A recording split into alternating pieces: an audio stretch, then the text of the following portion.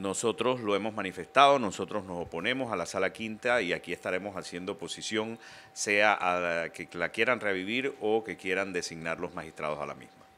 Nosotros sentimos que sería concentrar más poder del que existe ahora mismo. El país casualmente está viviendo una crisis institucional, que es la que nos tiene en un debate político permanente, donde el sistema democrático se ve en peligro y no solamente lo decimos nosotros, sino que ya desde afuera comienzan a mirar con atención lo que sucede en Panamá.